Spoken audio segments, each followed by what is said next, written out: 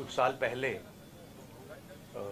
नरेंद्र मोदी जी ने ये हिंदुस्तान का जो पॉलिटिकल फाइनेंस का सिस्टम है, उसको साफ़ करने की बात की थी। और इलेक्टोरल बॉन्ड्स का जो कॉन्सेप्ट है, वो नरेंद्र मोदी जी ने डेवलप किया और उसको इम्प्लीमेंट किया। और कुछ ही दिन पहले इलेक्टोरल बॉन्ड की सच्चाई देश को दिखी है।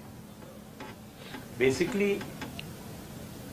जो नरेंद्र मोदी जी ने इलेक्टोरल बॉन्ड का कॉन्सेप्ट रखा है, वो दुनिया का सबसे बड़ा एक्सटोर्शन रैकेट है।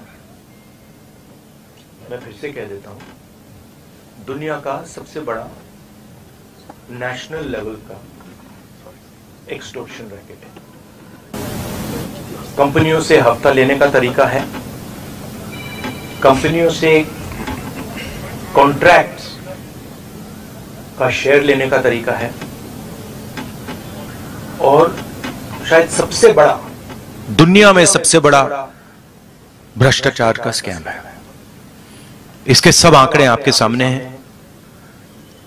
पूरी कंपनी की लिस्ट अभी आई नहीं है।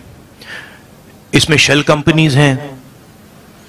इसमें सीबीआई ईडी से प्रेशर डाल के पैसा लिया जा रहा है। डेट्स हैं। कंपनी पर केस लगता है। उसी के थोड़े दिन बाद बीजेपी को पैसा मिलता है। हज़ारों करोड़ रुपए का कॉन्ट्रैक्ट मिलता है। कॉन्ट्रैक्ट का एक कट बीजेपी को डायरेक्ट मिलता है। तो ये प्रधानमंत्री का कॉन्सेप्ट है।